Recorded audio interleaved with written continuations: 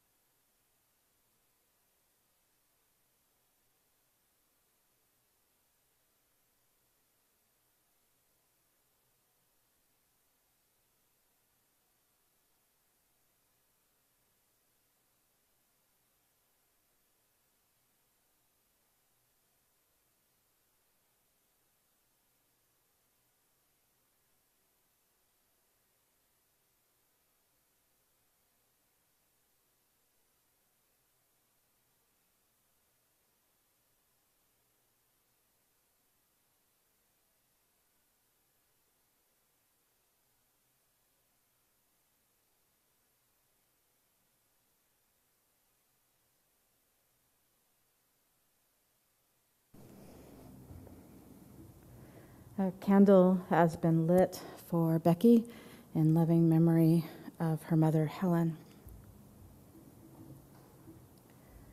A reading from John's first epistle. We declare to you what was from the beginning, what we have heard, what we have seen with our eyes, what we have looked at and touched with our hands concerning the word of life. This life was revealed, and we have seen it and testify to it and declare to you the eternal life that was with the Father and was revealed to us. We declare to you what we have seen and heard, so that you also may have fellowship with us. And truly, our fellowship is with the Father and with his Son, Jesus Christ. We are witness- writing these things so that our joy may be complete. This is the message we have heard from him and proclaim to you that God is light, and in God there is no darkness at all. If we say we have fellowship with God while we are walking in darkness, we lie and do not do what is true. But if we walk in the light, as God Himself is in the light, we have fellowship with one another. And the blood of Jesus Christ, His Son, cleanses us all from sin. If we say that we have no sin, we deceive ourselves, and the truth is not in us. If we confess our sins, he who is faithful and just will forgive us our sins and cleanse us from all unrighteousness. If we say we have not sinned, we make him a liar, and his word is not in us.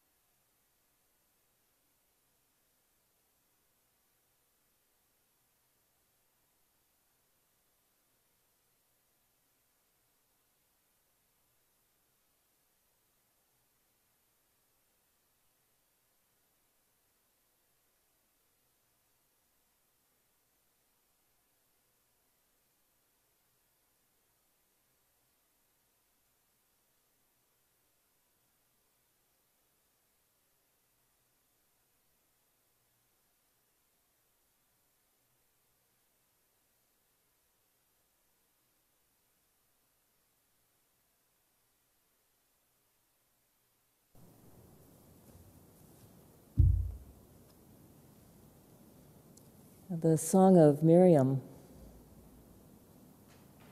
The Holy One is my strength and my song and has become my salvation. You are my God, and I will prepare you a habitation, my ancestors' God, and I will exalt you. You have triumphed gloriously. I will sing unto you. You have triumphed gloriously. The horse and his rider have you thrown into the sea. You, most holy one, are a warrior. The most holy is your name. Pharaoh's chariots and his army have you cast, have you cast into the sea. Your right hand, O God, has become glorious in power. Your right hand, O God, has dashed in pieces the enemy. Who is like you, O God, among the gods? Who is like you, glorious in holiness, fearful in praises, doing wonders? The Holy One is my strength and song and has become my salvation.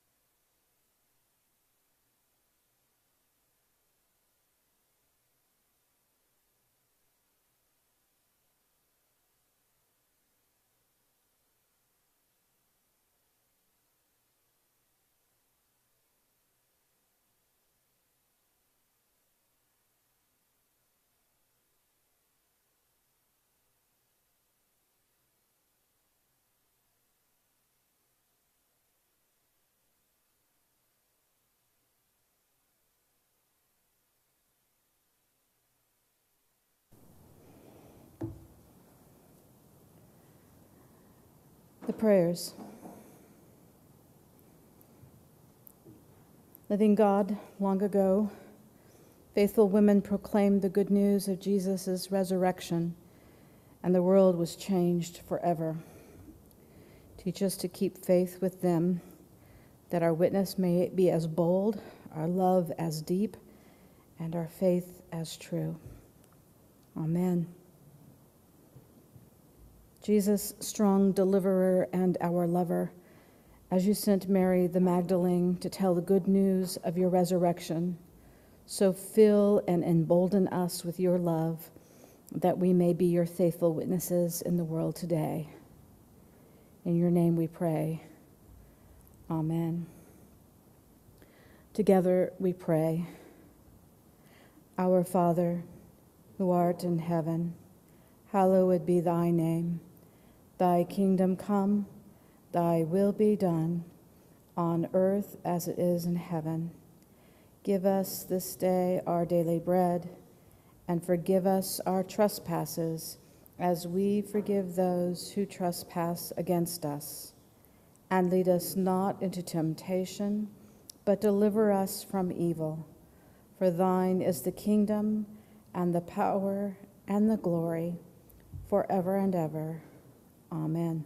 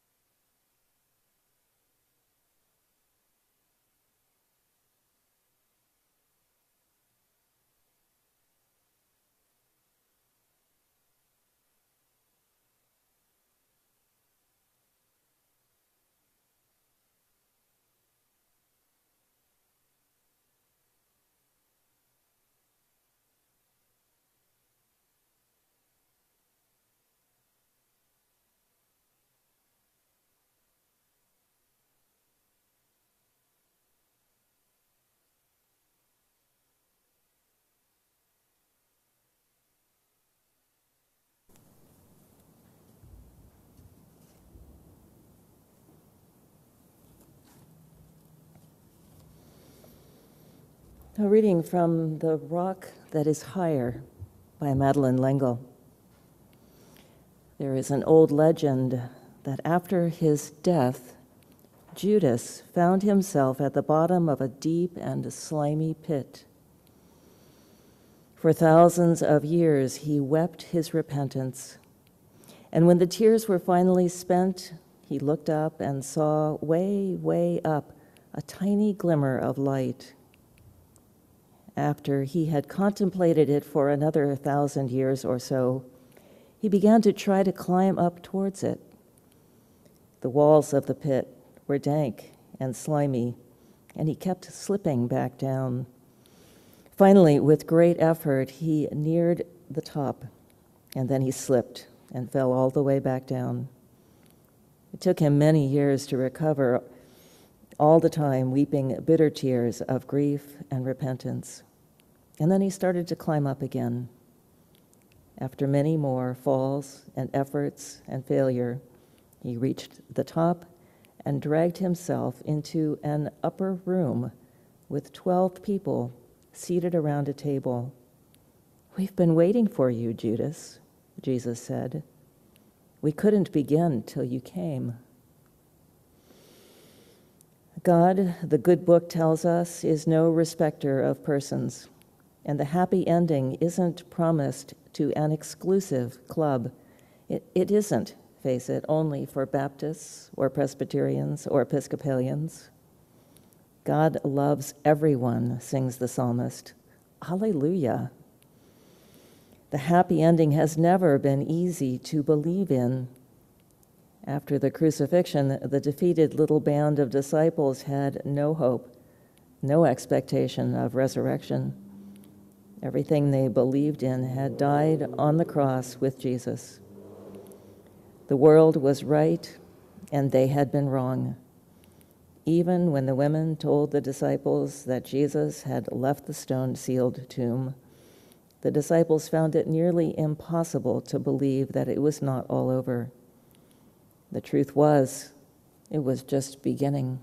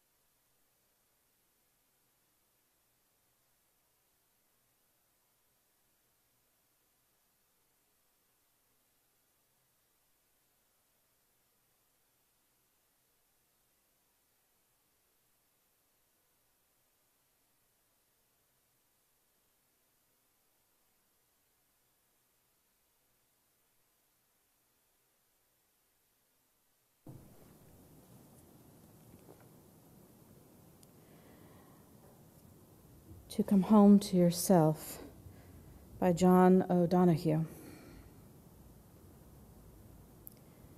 May all that is in forgiven, unforgiven in you be released. May your fears yield their deepest tranquillities. May all that is unlived in you blossom into a future graced with love.